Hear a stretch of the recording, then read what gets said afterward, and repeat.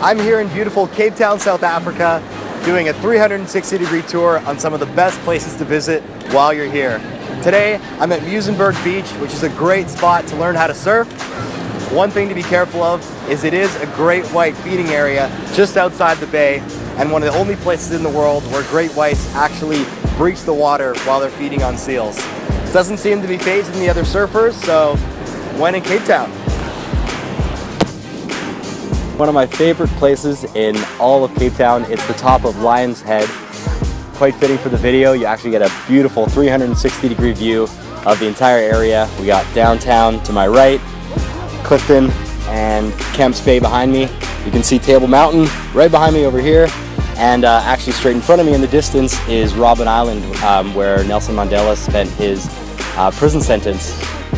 If you're looking for a place to grab a bite close to the water, it doesn't get any closer than this. Brass Bells is a restaurant in Kalk Bay that is practically built in the ocean.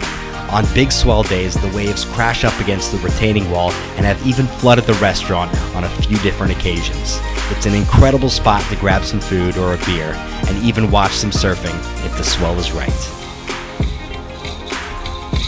This is Green Market Square, a unique African market located in the middle of downtown Cape Town. Here you can purchase African souvenirs from a variety of vendors and even enjoy some lively entertainment like these girls performing with some homemade shakers. Looking for something different? How about thousands of penguins in a warm, beachy environment? Boulders Beach is 30 minutes from the city and a fascinating viewing area for these unique African penguins. The area is protected and closed off to visitors, but it's common to have penguins swim or waddle right past you at adjacent beaches close by. This is Drumbeat, a short one hour harbor cruise that gets you up close and personal with thousands of seals on Seal Island. Although sharks are common in South Africa, don't expect to see any shark sightings here.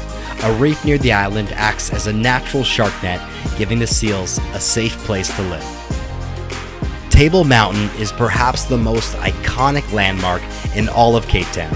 There are all kinds of beautiful hikes, varying in difficulty, that take you to the top of this scenic giant.